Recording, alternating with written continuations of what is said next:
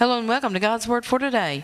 My name is Brenda Gross. It's good to be with you, good to be in the house of the Lord, and good to be coming to you by the way of radio and TV right here in Keavy, Kentucky. And that's WVTN, World Victory Television Network, and WVCT, where victory comes through 24 7, 365 days a year. Praise God, and it's good to be with you. We're also on the World Wide Web. And if you'd like to tune in by the way of the internet, you can go to www.the, T-H-E, thegospeleagle.com, thegospeleagle.com, and you can hear the programs on here live. That's www.thegospeleagle.com. We are the Gospel Eagles right here in Keavy, Kentucky. Where Jesus is Lord, always. Where Jesus is Lord. Where we honor Jesus, where we lift his name up. Where we give honor to him. And we want to bring honor to him in everything we say and do. And we're here for you.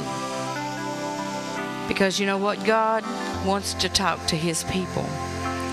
And how many knows that he uses people to do it? He uses preachers and teachers and evangelists and prophets and apostles to work through these days. And it's not a hard thing. It's just listening to him and recognizing his voice. Whether he's speaking to you through a person, through a song, or through a scripture or He's speaking to your spirit. You can hear His voice. We can hear God because He's in us, He's near us, and He's not willing that any should perish, but that all should come to repentance. And what Jesus Christ has done on that cross. He has provided salvation for every man, every woman. He's provided salvation for all mankind.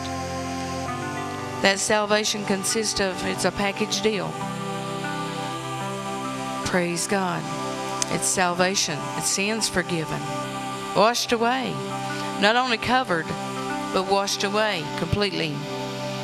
It's healing spiritually and physically. Spiritually and physically. Healing. It's prosperity. It's it's supplied. Every need supplied. And the Bible says that he not only supplies the want, the want, the W A N T, the want of the saints, but in abundance with many thanksgivings. I've heard people say before, well, now God said He'd supply your needs, but now He won't supply your wants. I beg to pardon. To differ. He said, the Bible says, that this administration not only supplied the want of the saints, but in abundance with many thanksgivings. So Jesus died. Jesus gave his life so that we could have life and have it more abundantly. And by his stripes we are healed. I don't know if you believe in healing or not, but it's it's Bible. And it's God's will for everybody to be healed. Everybody to be healed. You say, Well, I don't know about that. Well, read your Bible. It's there. The leper came to Jesus. He said, Lord, he said, I know that you can make me clean if you will. Jesus said, I will. I think the Amplified says, Of course I will. Of course I will. And see, Jesus Christ is the same today, yesterday, and forever. And that there is no respecter of persons.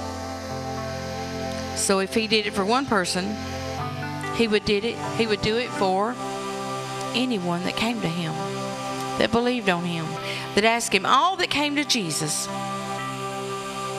for healing got healed. Everyone that came to him or touched him were made whole. No one ever went away. I cannot read, for no one ever went away not healed. Everyone that came to Jesus. You say, well, what about his own hometown? Well, it didn't say they came to him. The Bible says that he could do no mighty works there because of their unbelief, except heal a few sick folk.